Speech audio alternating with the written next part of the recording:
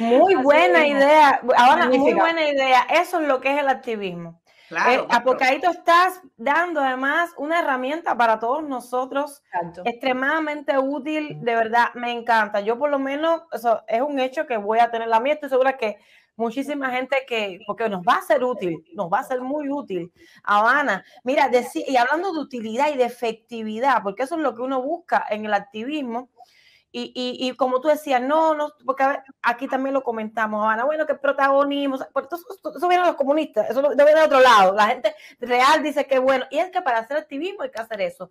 es necesario. Es necesario crear ese impacto. Yo tengo un lema. Primero es Cuba. No quiero, nada más me importa. Primero es Cuba. Segundo es Cuba y tercero es Cuba. Entonces, nada de, todas las cosas que se escuchan, que te dicen, la gente que de verdad esté puesta y la gente que de verdad quiera libertad te va a apoyar. Todo lo demás es negativo y si uno escucha lo negativo te, no, no, no. la energía y no es el además es que eso no es que eso es una falacia porque si tú no puedes hacer activismo en secreto como no puedes ser eh, real estate en secreto tú no puedes vender casa abajo una piedra usted tiene que venderse. Pues el activismo es la misma historia. Si tú quieres llevar un mensaje, denunciar, tú necesitas ser protagonista, tú necesitas llamar la atención, tú necesitas ser egocéntrico y pararte en una esquina y disfrutarlo, porque si no lo vas a sufrir, porque si tú quieres ser efectivo, tú necesitas pararte en una esquina y sobresalir para que llames la atención, para que alguien te haga caso, para que te sigan en la denuncia unas personas y para que respondan a ese, a ese clamor tuyo las personas que tienen autoridad en el caso, o sea, ya sea en un juicio, ya sea diplomáticos, ya sea un bufete de abogados que eh, dejen de hacer los negocios que están haciendo, ¿me entiendes? Que se sientan la presión. El activismo al final es eso, presión y llamar la atención. no puedes hacerlo desde una piedra bajo la alfombra de tu casa, o sea, no puede ser. De hecho, mira cuántos activistas europeos eh, que son animalistas o naturalistas o lo que sea, van a museos eso digo yo. Eh, o le echan puré de tomate a una obra de Bangkok, por ejemplo, que eso no lo comparto. No, yo tampoco. Pero, pero es lo que hacen. Pero, pero, pero, es activismo. Eh, te puede gustar o no y tú puedes cuestionarlo hasta el final. Pero es activismo. Y esas personas no sabemos quiénes son, no sabemos cómo se llaman, pero sí que es, sí que han mandado el mensaje, porque a través de ese cuadro, por ejemplo, que es tan famoso y que todo el mundo lo conoce y que todo el mundo lo quiere cuidar y no quiere que se arruine, está la noticia, está pasando en todas partes. Y mira, yo insisto, yo siempre hablo de clandestinos, porque al final eso fue exactamente lo que pasó con clandestinos, que todo el mundo tenía una opinión, porque era José Martí. Exacto. Porque era José Martí. Entonces, como, eh, como activismo, como gesto, como gesto de denuncia y como gesto merizo para levantar a los cubanos y decir, poner, dar un, golpe en la mesa y decir, basta ya de aguantar, carajo, que no somos pendejos, vamos a, poner el alma y el corazón y, la, y el cuerpo eso fue lo que hicieron. Claro, fue espectacular. Te puede gustar o no te puede gustar, pero de que puso, y fue muy importante. Pues eso, eso dio traste a otras cosas que vinieron después. Eso es un hecho concreto, sin y puso a la dictadura a hacer, a hacer actos de repudio a la nada. Yo siempre digo eso porque realmente lo disfruté mucho a la nada. O sea, en el medio de hoy estamos aquí, pero si no hay nadie, no sabes quiénes son, ¿no? en fin, tengo el video, tengo un video de Habana donde tiene otro enfrentamiento con una esbirra, con unos esbirros cubanos en el camino de Santiago de Compostela. Lo tengo aquí, lo vamos a comentar en este momento, lo vamos a ver, pero antes déjame recomendarte 30 segunditos, ahora lo vemos, nuestras, nuestra querida Zulema Ruiz. Nuestra querida Zulema Ruiz que es la mejor y la más completa mi vida, que te ayuda a lograr tu sueño americano, te ayuda a invertir, a buscar ese dinero, esa financiación que necesitas, incluso desde fuera, Habana, es mucho más fácil obtener un préstamo increíblemente que desde dentro de Estados Unidos. Es una cosa loca, pero es real. Y puedes comprarte un apartamento que te sirva de vacaciones, que te sirva de Airbnb como una, eh, una entrada, un income extra, eh, una ganancia ahí. Uno y dos y tres y cuatro, te puedes, en fin, eh, puedes hacer maravillas con ella, te puede orientar. También te puedes comprar tu primer apartamentico para empezar. O sea, no tiene que ser todo grande, sino paso a paso. 305-815-2003. Y por supuesto, recordarles nuestro concurso de Tropical Cheese, mi vida, que eh, te vas a ganar una cesta con productos de Tropical Cheese, queso tropical, lo mejor y lo más divino del mundo mundial. tienes que eh, suscribirte a nuestro canal de YouTube, seguirlos a ellos en Instagram, que son Tropical Cheese, y a nosotras, Revueltas TV, para entrar en este concurso, pones tu foto con tu producto de queso tropical y nos tagueas, tagueas a Tropical Cheese y a Revueltas TV. 15 eh, segunditos y aquí estamos con este otro enfrentamiento porque esta mujer hace rato que viene dándole palo a los comunistas.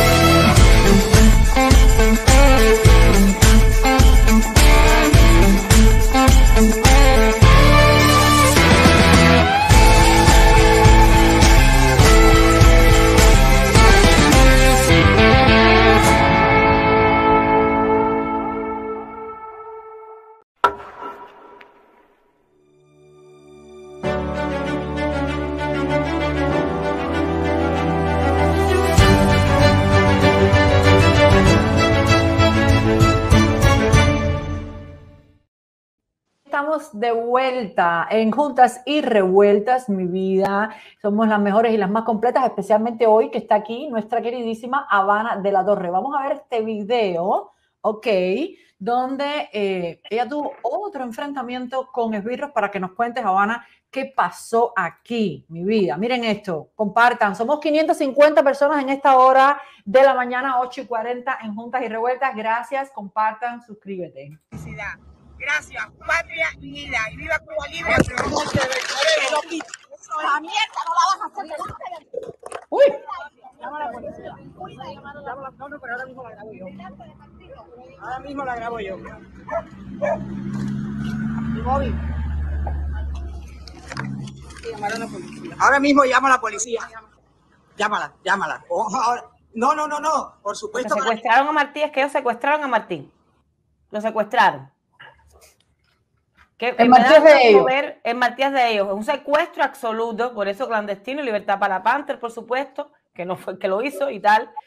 Eh, porque esta estructura no han atrapado a todos los demás, porque ¿dónde están todos los demás? Los de Santa Clara, los del otro, el otro. Los de Santiago, ¿dónde de Santiago, está toda esa mm. gente y la gente que ha seguido haciendo carteles por años y años después de clandestino, gracias a, iniciar ese movimiento, ellos secuestran a Martí. Fíjate que verdad, Ana, cuéntanos qué pasó, porque se pone soberbia, ¿no? Por el tema que está Martí. Claro, pues esto fue el Camino de Santiago. Yo tenía muchísima ilusión de hacer el Camino de Santiago hace muchísimos años. Y el año pasado estuvimos un grupo hablando en Madrid y sugerí la idea y bueno, pues mucha gente me dijeron, ah, sí, perfecto, pues podemos apuntarnos. Disculpa, me dijeron. Sí. Ok. Entonces, nada, pues me dijeron que, sí que se apuntaban, nos juntamos un grupo para hacerlos. Luego, el día 4 de julio, comenzó la huelga de hambre de Ariel Ruiz Urquiola en Ginebra y no pudimos todos estar haciendo el Camino de Santiago y solamente lo hicimos el doctor Lucio Enrique, un gran amigo y un tremendo patriota, y yo. Nosotros comenzamos este Camino de Santiago en la casa de Ángel Castro, Arguís, y a partir de ahí comenzamos nuestro camino desde la casa de Ángel Castro, enseñando la casa del mal. En su momento todavía no había ido Mariela Castro mm. a hacer, bueno, a fundar aquel museo del horror. Y bueno, a partir de ahí comenzamos nuestro camino. Fue un camino muy bonito, fue un camino dando un mensaje tremendo, pero fuimos sin redes. Es decir, estábamos bloqueados por todos los lados porque, no, porque nos metemos en los mismos líos casi siempre.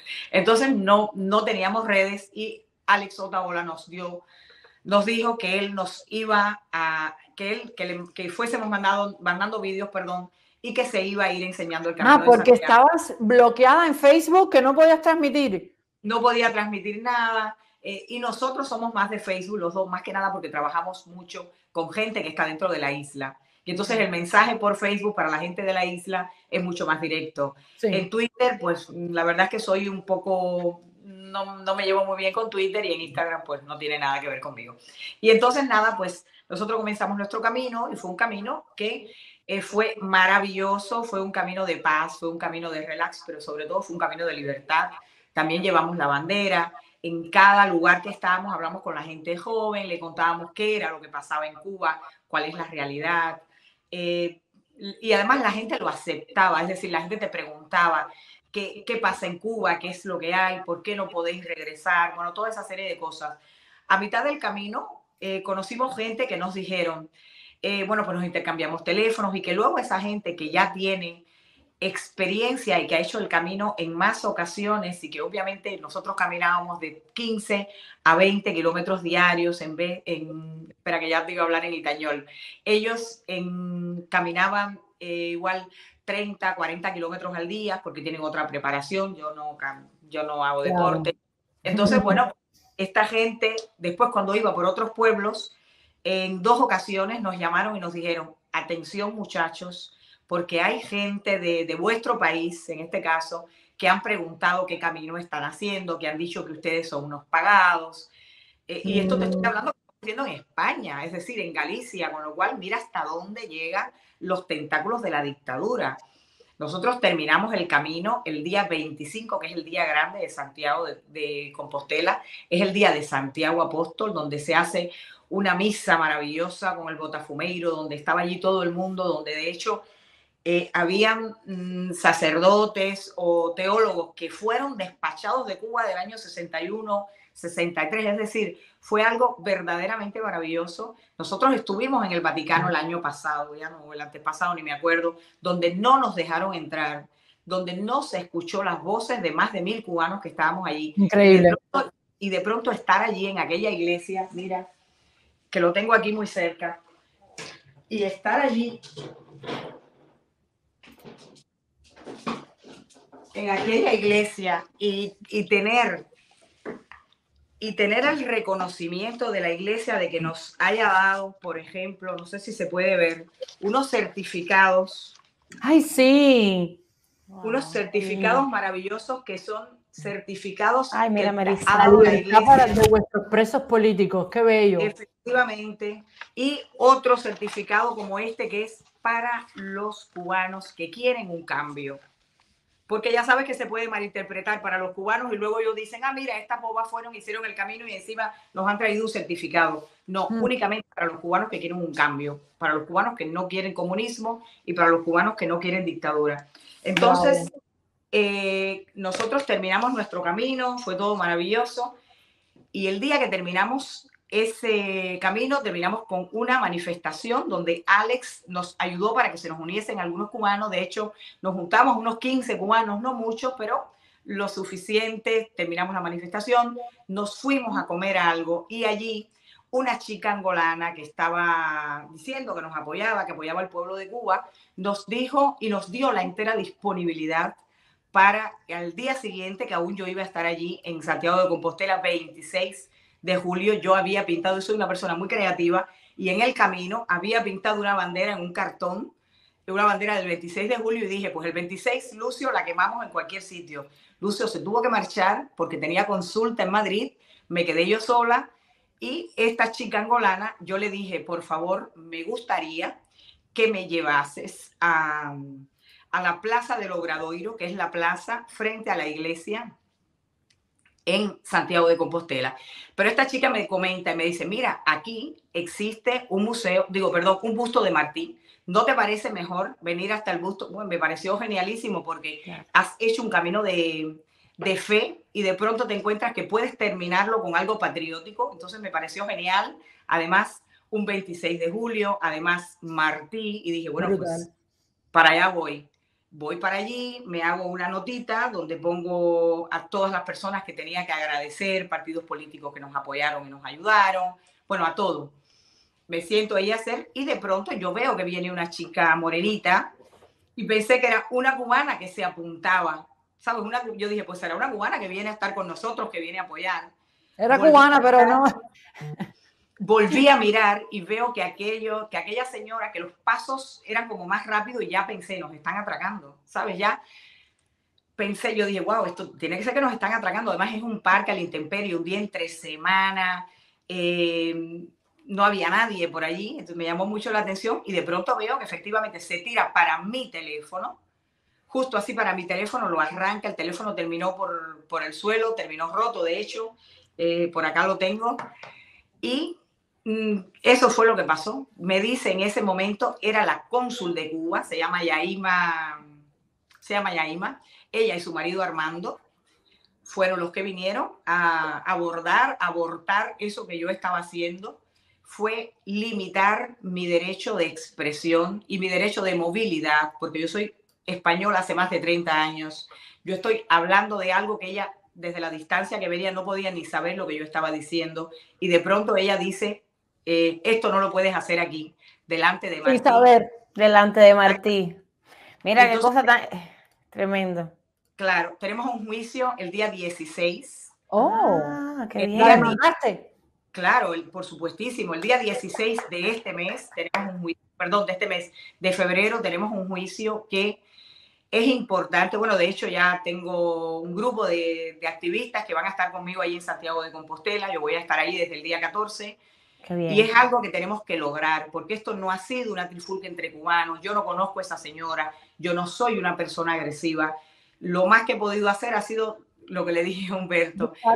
quiero decir que, sabes, que, que, soy una persona bien calma, bien pausada, que tolero incluso muchas cosas hasta que explotas, pero siempre desde la razón, desde la verdad, desde, desde la educación. Entonces fue algo que, que no hay precedentes de que haya ocurrido y es importantísimo que, que todas yo les iré mandando a decir cómo va Absolutamente. Por supuesto. Y, cuando, quieras venir para eh, actualizar lo que está sucediendo, hazlo sin ningún problema, porque nos avisas y vienes enseguida. Mira, Mira tenía, tenía, perdóname, perdóname que traje esto porque es que yo con Martí tengo un tema, es que me, le dan roña ellos. Mira Martí que ellos han sacado. ¿Tú piensas que esto? Vaya, porque, porque tanto que se llenó la boca, que si clandestino, que no sé qué, que estaba mostrando el Martí sangrando, porque es un Martí sangrando, adolorido, mancillado de verdad, que lo tienen hecho un Martí mutilado, que es un gusto que tú no sabes si tú. No, no, no, es aquello tremendo. Mira el Martí que han sacado para el 28 de, de, de enero, ¿no? Ajá. Y lo pusieron en un taxi, por el amor de Dios. Espérate, lo tengo, lo tengo. Un segundito. Espérate. Porque lo tengo el visitaxi, Martí en el visitaxi. O sea, eh, a ellos les parece esto una ofensa y ellos no quieren eh, permitírtelo pero y el video de Habana se ve clarita, que está sentada, que está tranquila, que, que lo que va a hacer es unas palabras. O sea, y me encanta, Habana, que hagas la demanda y que hagas el forcejeo, que es agotador. Es agotador hacer todos estos procesos. Hay que decir a la gente que todos estos procesos de activismo, de lucha contra el poder es agotador, que hay que tener la constancia. Yo siempre pongo un ejemplo, a Luis le gusta mucho, que yo me leí un libro de una guatemalteca que subió al Himalaya y lo leí en el, en el trayecto cuando venía para acá, para los Estados Unidos. A mí me, importó, me, me, fue importante para mí porque estaba en un proceso así también de alguna manera.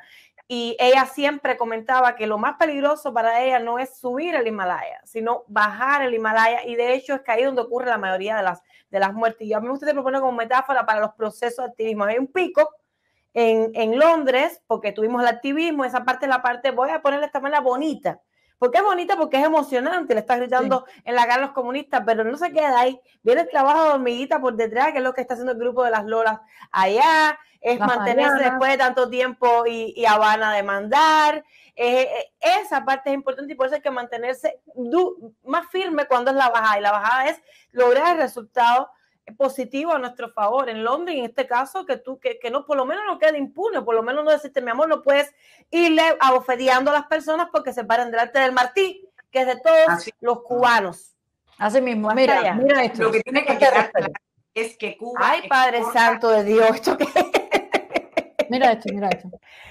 Ay, Dios, no puede ser. Han montado la casa de Martí, no solamente a Martí, sino la casa de Martí en un visitaxi. ¿Ok?